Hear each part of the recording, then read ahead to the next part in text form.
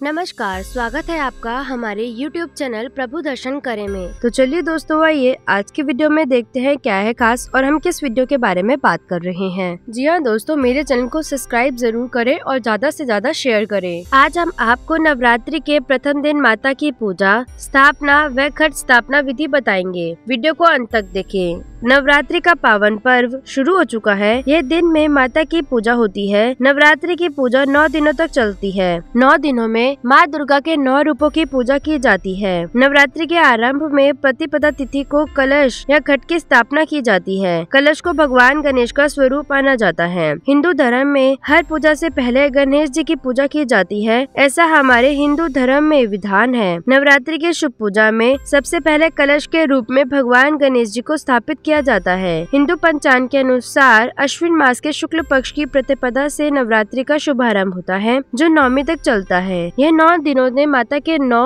रूपों की पूजा होती है। नवरात्रि में नौ दिनों में हर तरह के शुभ कार्य कर सकते हैं। नवरात्रि के नौ दिनों में हमें मुहूर्त देखने की आवश्यकता नहीं होती है। वह खास दिनों में लोग गृह प्रवेश, बच्चों का मुंडन, नई गाड़ी खरीदना आदि करते हैं। इन नौ दिनों में किए गई पूजा माता प्रसन्न होती है और व्यक्ति की हर मनोकामना को पूर्ण करती है। अगर आप कलश स्थापना विधि पूर्वक करते हैं तो माता रानी आपकी हर इच्छा को पूरी करती है। तो आइए, अब हम आगे बढ़ते हैं कलश स्थापना की संपूर्ण विधि बताते हैं। नवरात्रि में कलश व घट स्थापना करते समय आप शुभ मुहूर्त का ध्यान रखें। शुभ मुहूर्त पर ही घट की स्थापना करें। कलश स्थापना या घट स्थापना नवरात्रि के पहले दिन यानी कि प्रतिपदा को पूजा की शुरुआत नियमित संकल्प लेकर ईशान कोण में कलश स्थापना करें। पूजा करते समय आपका मुख पूर्व दिशा की ओर होना चाहिए। अति शुभ और आवश्यक होता है। कलश स्थापना के लिए आवश्यक सामग्री हम आपको बताते हैं। यह सामग्री आप एक दिन पहले एकत्रित कर ले। सामग्री है कलश, तांबे या फिर मिट्टी का घड़ा। ले सकते हैं आप लोहे और स्टील के कलश का प्रयोग घट स्थापना में ना करें। जो बोने के लिए एक मिट्टी का पात्र, शुद्ध, साफ़ की हुई मिट्टी, जिसमें कि जो को बोया जा सके। कलश में भरने के लिए शुद्ध जल अथवा गंगा जल मिल जाए तो अति उत्तम होगा। कलश में ढकने के लिए ढक्कन, पानी वाला नारियल ले लें। नारियल को लपेटने के लिए लाल कपड़ा या मौली सूत्र, इत्र, साबुत, सुपारी, दुर्वा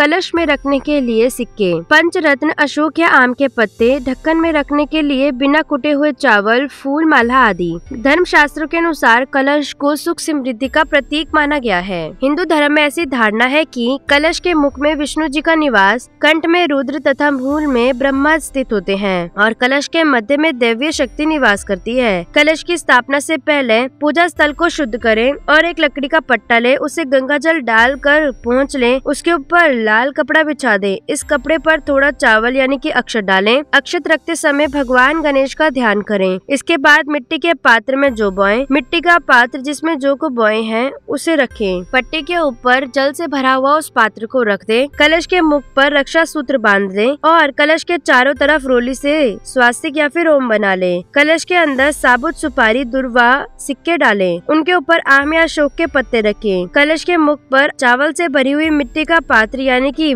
प्लेट रखे, उसके ऊपर लाल कपड़े में लपेट कर नारियल रखे। नारियल को लाल कपड़े में लपेट कर मौली से बाँध। दे अब नारियल हमें कलश पर रख दिया है। ध्यान रहे कि नारियल का मुख साधक की ओर हो। शास्त्रों में उल्लेख है कि नारियल का मुख नीचे की तरफ़ रखने से शत्रुओं में वृद्धि होती है। नारियल का मुख ऊपर की तरफ़ रहे तो रोग बढ़ते हैं, जबकि पूरब की तरफ़ मुख होने से धन का विनाश होता है। इसलिए आप इस बात का ध्यान रखें कि नारियल का मुख साधक की तरफ़ रहे। अब कलश में सभी देवी देवताओं का आह्वान करे कि वह नौ दिनों के लिए उसमें विराजमान हो। अब दीपक जलाकर कलश की पूजा करें। धूप बत्ती कलश को दिखाए। कलश को फूलों की माला अर्पित करें। कलश को फल, मिठाई, इत्र समर्पित करें। इस प्रकार से आप कलश की पूजा व स्थापना करें। कलश या घट की स्थापना करने के बाद माता की चौकी की स्थापना की जाती है तथा नौ दिनों तक इनका पूजन किया जाता है। आइए अब हम आपको माता की चौकी स्थापना विधि के बारे में बताते हैं। माता की फ़ोटो की दाई और आप कलश की स्थापना करें। लकड़ी की एक चौकी को गंगा जल से धोकर वह शुद्ध कपड़े से पहुँच कर शुद्ध करें, साफ़ कपड़े से पहुँच ले, उस पर लाल कपड़ा बिछा दे। इस बात का ध्यान रहे कि माता की फ़ोटो की दाई तरफ़ ही कलश हो।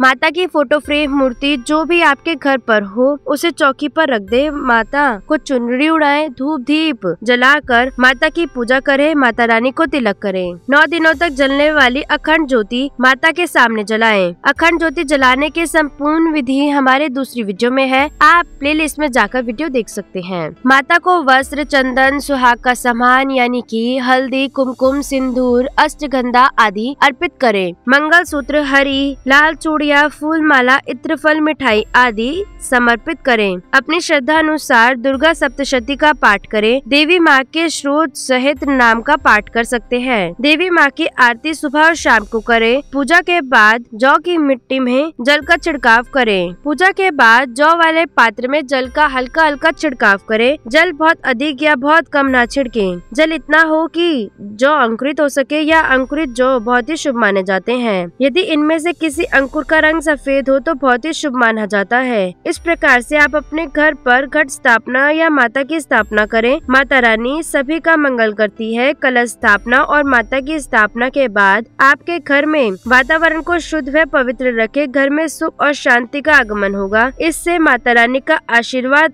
आपके परिवार पर बना रहेगा। जी हाँ दोस्तों, मेरे चैनल को ज़्यादा से ज़्यादा सब्सक्राइब करें और बेल आइकन को ज़रूर दबाएँ ताकि हमारी आने वाली हर एक वीडियो की अपडेट आप तक पहुँच सके।